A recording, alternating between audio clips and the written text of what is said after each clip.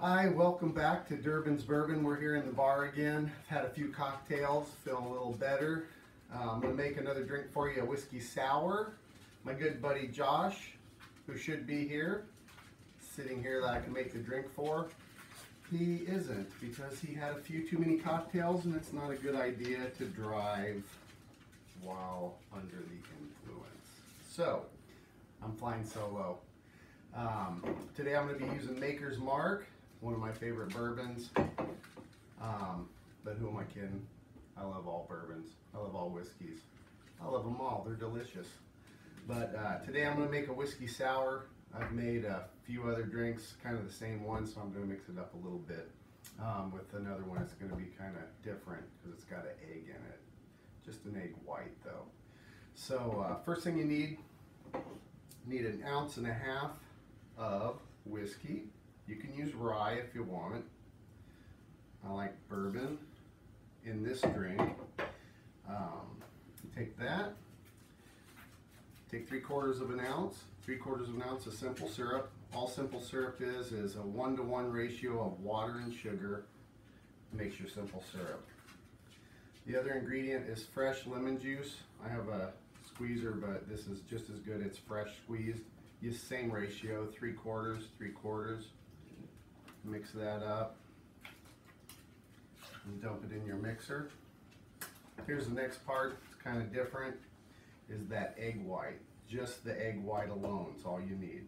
So you crack your egg, separate it, just get the white only, no yolk. Perfect, that's all we need. And you have a garbage handy, put that in the garbage. Good to go.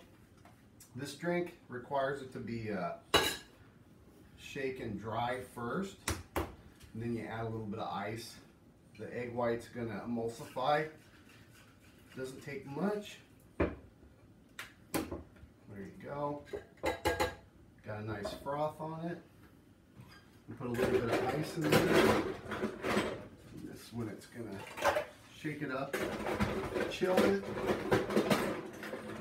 and uh, add a little bit more class to. And we're gonna shake it pretty good. It's important to get a good shake.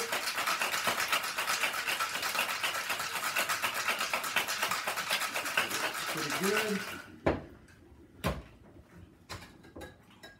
Now we're gonna strain it. Pour it into this one. Awesome.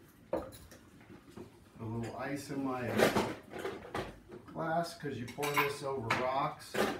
You can pour it without ice. I just happen to like it with the ice. Here we go. It's gonna have a nice froth on it. And that's the egg white.